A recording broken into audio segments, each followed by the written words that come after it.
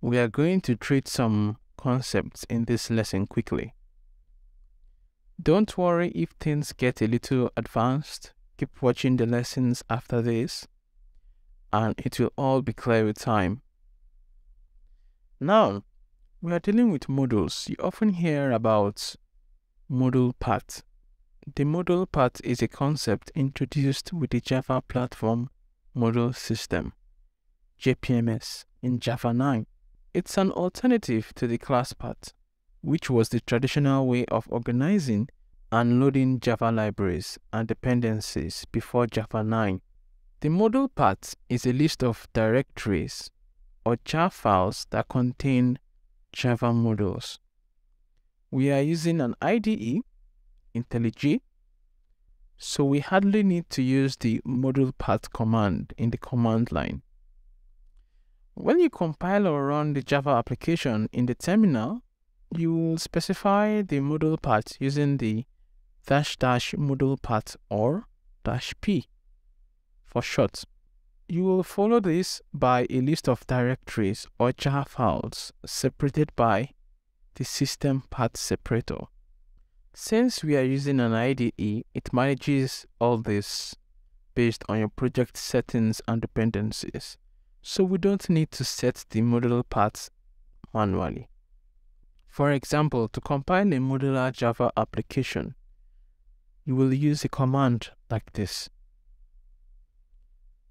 The javac is the Java compiler command line tool, and it is used for compiling Java source code files into Java bytecode. Now, the module path mods tells the compiler where to find the required modules. In this example, mods is the directory containing the compiled Java modules. The directory serves as the module path for the Java compiler the dash d mods slash com specifies the output directory where the compiled Java bytecode files will be placed. In this example, the output directory is mods slash com dot example dot app. The Java compiler will create this directory if it does not exist and put the compiled class files and the module info.class file in it. The source slash com.example.app slash module info.java is the path to the module info.java file. This contains the modules, metadata, dependencies, and exported packages. So, yes, the module info file is compiled just like other Java class files. The path to the my app.java is just like any other path to the Java source file. In this case, it is a Java class located in the com.example.app module. So this is just a, a sample of if you're going to be using terminal to compile a modular jar. Now, of course, you can read more about it, but we're using an IDE, so we often don't have to worry about this. Another concept you might have heard of is an unnamed module. We also have another called automatic module. Let's go through both of them and see the differences. Now, just as we have seen, unnamed modules are created by the JPMS when a Java application is run using the class path instead of the module path. Each jar file or directory of class files on the class path becomes an unnamed module at runtime. Unnamed modules do not have a name and are not part of the module path. They export all their packages so that other modules can access them. They require all other modules, including automatic modules. Don't worry, we will learn about that next.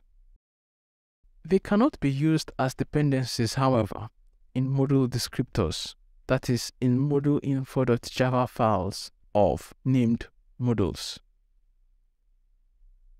Now, automatic modules are a way to add jar files that do not have module info.java file into a modular application. So when a jar file without module info file is placed on the module path, the JPMS automatically creates an automatic module for that jar file.